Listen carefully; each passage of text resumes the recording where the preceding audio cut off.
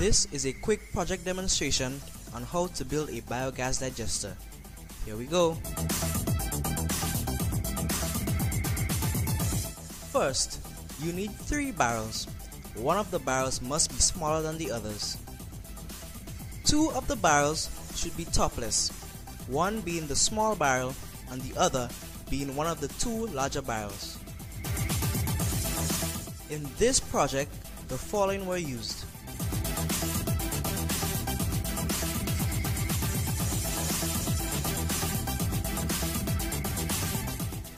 First of all, you cut a hole in the middle on top of barrel 1.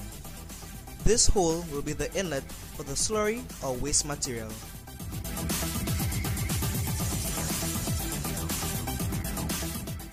Another hole should be cut on the far right of the slurry hole for the removal of excess slurry or wastewater.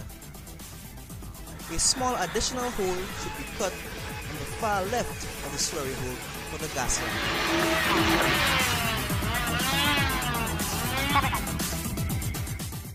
Two holes should be cut, preferably at the extreme edges, with maximum space between each of the holes.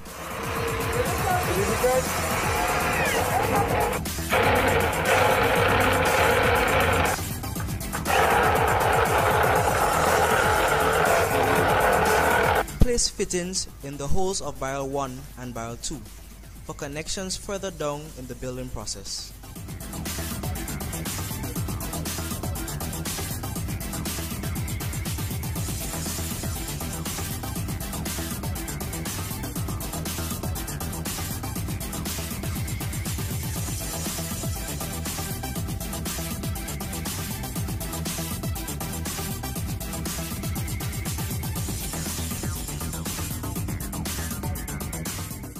Fill barrel 3 up to 60% of water.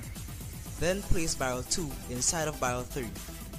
Note that the top of barrel 2 should be placed downward inside of barrel 3. Now, make connections between the far left fitting of the slurry hole on barrel 1 and any one of the holes on barrel 2.